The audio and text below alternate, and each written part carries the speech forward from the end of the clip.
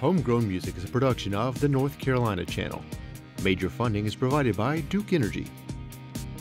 I know what I want from my energy company. I want to know that my power is always on and that my energy is cleaner, safer, and affordable. That's why, as a Duke Energy lineman, I'm working hard to make that possible. I feel honored to serve our community it's a good feeling knowing that I'm helping to build a smarter, reliable energy future for all of us, for my family and for yours. What do you say we turn this state fair into the party at the beach club? Come on!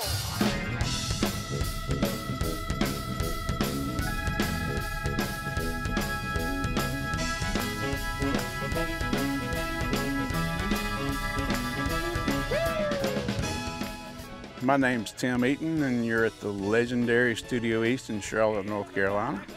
Just a, a, very special living room here. You know, it's it's not meant to be all polished and, and pretty and bells and whistles. It's, it's, it's a place you can come in and lay hamburger down and, like old Archie Bell used to say, you know, lay that hamburger down.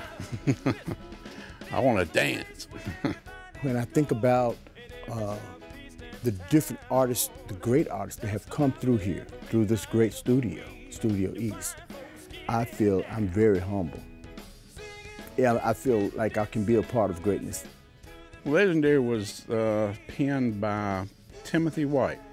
Uh, Timothy White was the editor-in-chief of Billboard magazine. And Timothy White came down, just loved the place, and John and I used to hang around down at the beach quite a bit. He was a fan of one of the bands I was booking.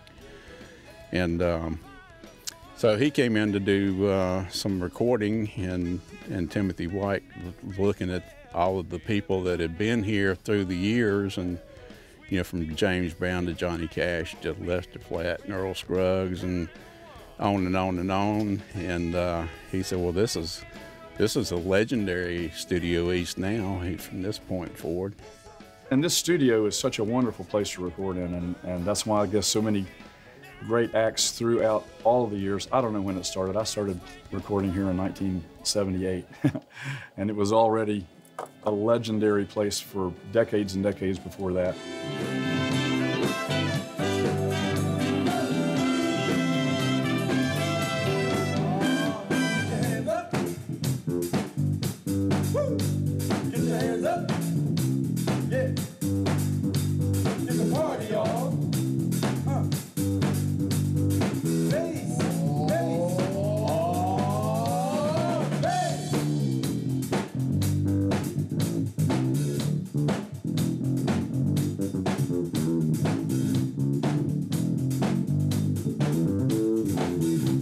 People think of music as their own.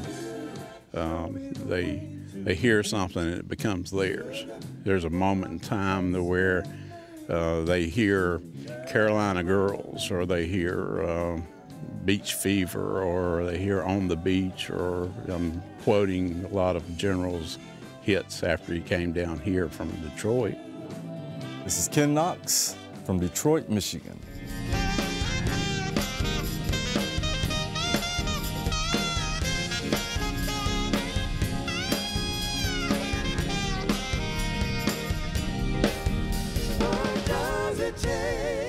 Toured nationally. General was with a group called The Showmen from back in the day.